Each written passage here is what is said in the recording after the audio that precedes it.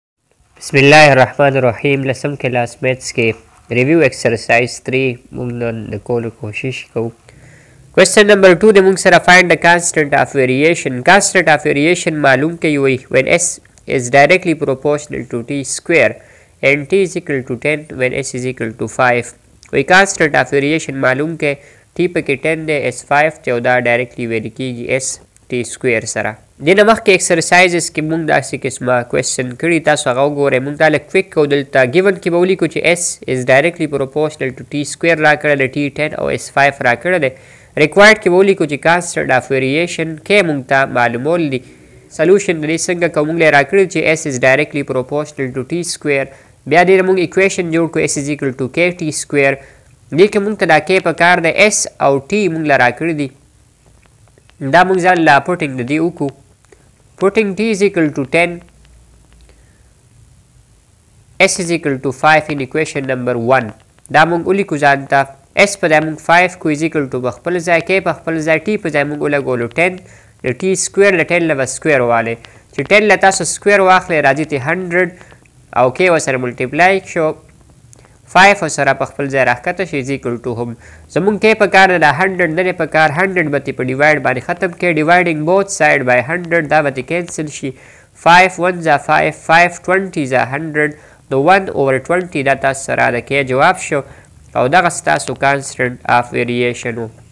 نمبر تری د ایف وای از انورسلی پروپورشنل ټو ایکس سکویر ایف وای از ایکول ټو فور ایکس از ایکول ټو تری فاینډ د ویلیو اف ایکس وین وای از ناین دې کې موږ له څه راکړي دی موږ ځان له ګیون کې ولیکو دا یې راکړي چې وای از انورسلی پروپورشنل ټو ایکس سکویر وای فور یې راکړی د ایکس تری دا موږ ځان له ولیکل غواړي رانه ویلیو اف ایکس ریکوایرډ کې موږ ایکس از ایکول ټو سوالې د شاتو لګولو انټراګیټیو ساین دا موږ ته پکار دی وای ناین راکړی دی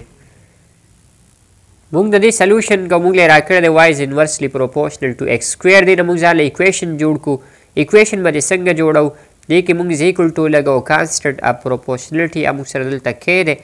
او دا ون اوور ایکس سکویر په خپل ځای کې سره ون ملټیپلای کو کې ون ځا کې ایکس سکویر سره دلته لاندې ون دی هغه ملټیپلای کې راځي به ته ایکس سکویر دې نه به جوړ شي ایکویشن نمبر ون وای زیکل ټو کې اوور ایکس سکویر ټارګټ اکس ته وای درکړی دی او دای لپاره مونږ سره یو بل څیز پکار دی کي نو مونږ ولیکو چې وي نیډ کي مونږ ته کي ړومبنی پکار دی چې مونږ اکس معلوموو مونږ ته به وای او کي دواړه پکار دی مونږ له صرف وای راکړی دی نو دی د معلومولو لپاره دا ړومبنی شرایط راکړی دی وای ایزیکل ټو فور اکس ایزیکل ټو تری دا به مونږ ځان له دلته د ایکویشن نمبر ون کې پوټ کو مونږ به ولیکو پوټینګ وای ایزیکل ټو فور اکس ایزیکل ټو تری ان ایکویشن نمبر ون ون کې تاسو سره وای په ځای به تاسو ولګوی فور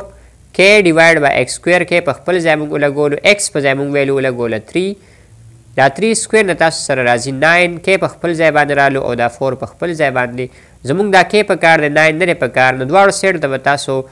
9 ملټیپلای کوي 4 سره به 9 ملټیپلای کوي کې اوور 9 سره به هم 9 ملټیپلای کوي دا 9 او 9 به کینسل شي کې او تاسو سره پاتې شي کې تاسو لیفټ هاند سایډ ته ولګوي که تاسو لیفت هینډ سایډ ته ولګوی فور ناین زه تاسو سره راځی تر ډی سیکس که مونږ معلوم کو اوس مونږ دا خپل سوال کولی شو مونږ اوس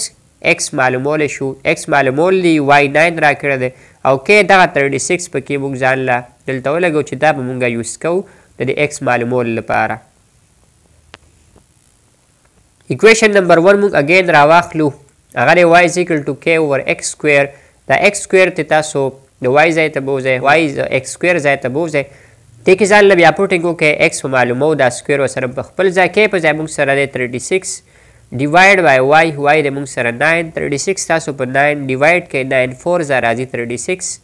زموږ ایکس په کار ده سکویر نره په کار ټیکنګ سکویر روټ اف بوت ساید به ورته تاسو ولیکئ دې ساید له هم سکویر روټ واخلئ دې ساید له هم سکویر او سکویر روټ کینسل شو ایکس پاتې شو او د فور د سکویر روټ نه تاسو سره راځي پلس او ماینس ټو دوه جوابونه موږ سره راځي دا موږ سره د ایکس ویلیوز دي او دا زموږ ریکوایرمنټ و د دې سوال Question number 4 The pressure of a gas in a closed vessel varies directly to temperature وی د ګیس پریشر په یو په یو پیپ کې دا تاسو سره ټمپریچر سره ویری کیږي پریشر اف ای ګیس مطلب تاسو ټمپریچر سیوا کوی پریشر اف ګیس په سیوا کیږي په هغه بند پیپ کې او که چرته تاسو ټمپریچر ډاون کوی کموی نو تاسو سره به پریشر اف ګیس هم کمیږي نو دا موږ ځان لګیون کې ولیکو چې دا راکړه دی پی از ډایرکټلی پروپورشنل ټو ټی پي سیوا کوی ټمپریچر پریشر به سیوا کیږي پي ټي کموی پي به کمیږي دا یې راکړی دی پریشر اس 150 یونټس نو موږ ځان ته پریشر ولیکو چې دا 150 راکړی دی دین د ټمپریچر اس 70 یونټس نو ټمپریچر په هغه حالت کې موږ سره دی 70 سوال والا وایي وټ ویل بي د پریشر پريشر به وي سوره وي نو مونږ ځان له ريکوايرډ کې وليکو چې پريشر مونږ ته معلومول دي پريشر پي مونږ ځان ته سوالي نشان کې ولګو که چرته ټمپريچر وي 140 يونټس شي نو پريشر به سوره وي دا زمونږ ريکوايرډ دی پي مونږ له پکار دی مونږ د دې سولوشن څنګه کوو مونږ یې راکړی دی پي از ډایرکټلی پروپورشنل ټو ټي دغه مونږ ایکویشن ته واړو ایکویشن کې مونږ از ایکول ټو لګو او کانسټنټ د پروپورشن ساين په ځای ایکویشن نمبر ون مونږ سره جوړ شو زمونږ ټارګټ ته پی ټارګټ چې پی دی معلومول مونږ له پی په کار دی کې او ټی په کار دی بیا ټی راکړه د خو کې نشته دا لومړنی دوو کنډیشن نه به مونږ ځان له کې معلوم کو تاسو به ولیکئ وی نیډ کې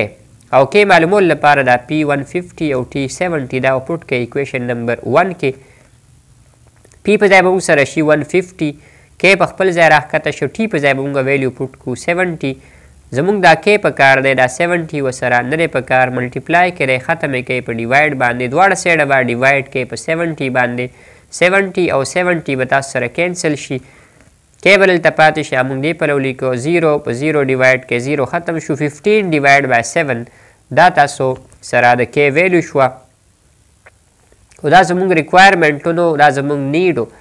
اوس زموږ خپل ټارګیټ ته راځو پی زموږ معلومول دي پی معلومول شو کې ولا موږ معلوم کو 15 بای 7 او ټی موږ له سوال کې 140 راکړه ده نو دا موږ اوس ځان لا سالف کول شو موږ به کې ویلیو پکې پټ کو 15 ډیوایډ بای 7 دا موږ ځان له ایکویشن نمبر 1 کې پټ کو ایکویشن 1 د پی از ایکل ټو کې ټی پټینګ د ویلیوز به تاسو ته ولیکې کې په ځای موږ سره ویلیو رااله 15 بای 7 او ټمپريچر يې موږ له سوال کې راکړ دی 140 نو دا تاسو لږ سالف کې ځان له 7 1 زا 7 7 2 زا 14 دا 0 وو سره کې 20 او 15 تاسو ملټیپلای کړئ نو راځي تاسو سره 300 او یونټس سره تاسو لګوي چې هر څو یونټ دی د لپاره یوز کړئ پاسکل یوز کړئ ملي بار یوز کړئ چې هر څه دی یوز کړئ دا غي لپاره ټول لپاره مونږ بس دا یونټس ولګو دا تاسو سره د پریشر هغه ویلیو شوه او دا زمونږ ریکوایرډ ریزلټ دی د دې سوال.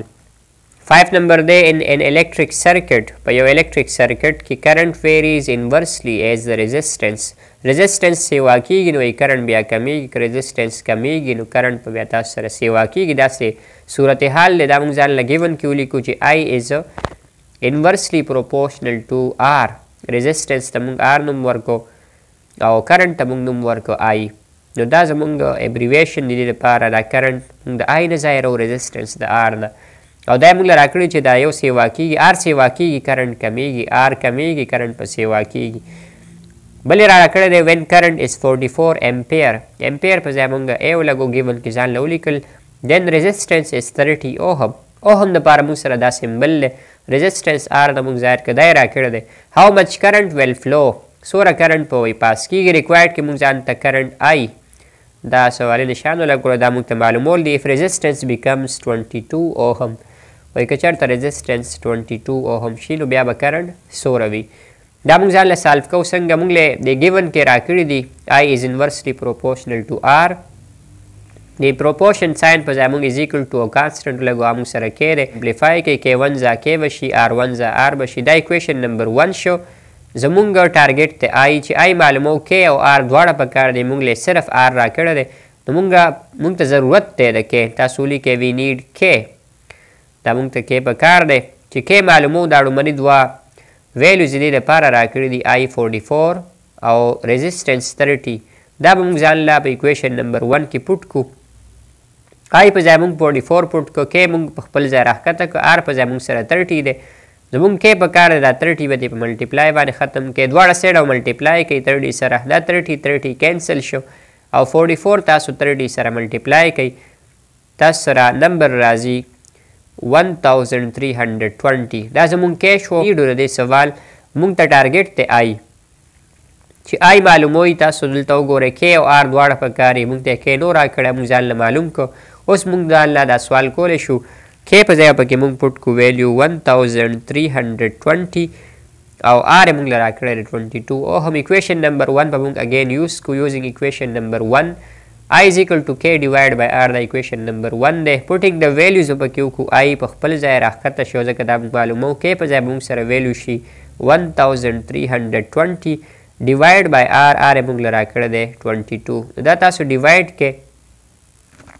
دې نه موږ سره ویلیو راځي 60 او دې سره به موږ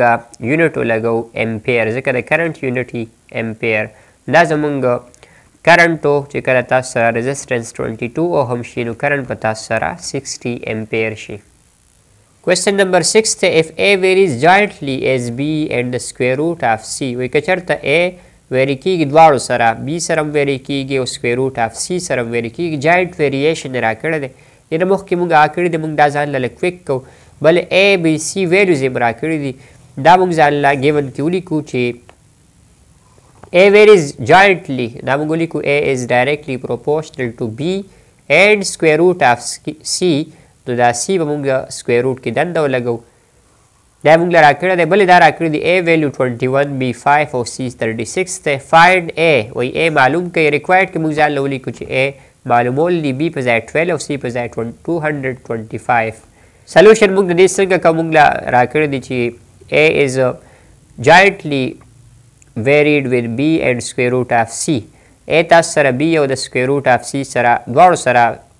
سیوا کیږي یا کمیږي جاینټ ویریشن راکړی دی د دې په ځای موږ ایزیکل ټو او یو کانسټنټ لګو او موږ سره دلته کې دی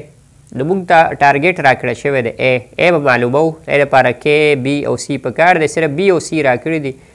دې لپاره موږ ته کې په کار دی کې به موږ د دې درو واړو نه معلوم کو دا ډومبني چې کوم شرایط راکړی دی تاسو به ولیکئ وي نیډ کې موږ ته کې په کار دی ای په ځای به کې موږ پټ کو 21 بی په ځای 5 او سی په ځای 36 ایکویشن نمبر 1 کې د ای په ځای موږ 21 پټ کو کې موږ ته معلومول دي کې به دا شان راښکته کې بی په ځای به پټ کې 5 بی سره ملټیپلای کړي او سی انډر د روټ ته ای په ځای به ولګوي 36 36 له تاسو سکویر روټ واخلئ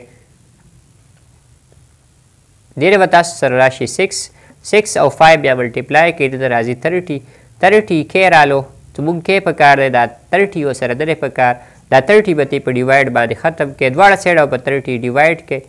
نو کی ویلیو به تاسو سره راشی ټوینټی ون ډیوایډ بای ترټی دواړه په تری تری ډیوایډ کیږی تری سیونز آر ټوینټی ون تری ټینز آر ترټی نو دا تاسو سره د کی ویلیو شوه او اوس به موږ خپل ټارګټ طرف ته راشو A موږ معلوموو نو موږ له په کار وو K B او C موږ له صرف B C راکړ وو K په کار وو K موږ معلوم کړلو نو موږ د A معلومول لپاره د K دا ویلیو 7 اوور 10 په ایکویشن نمبر 1 کې ځان لا پټ کو A په ځای موږ ویلیو په کار ده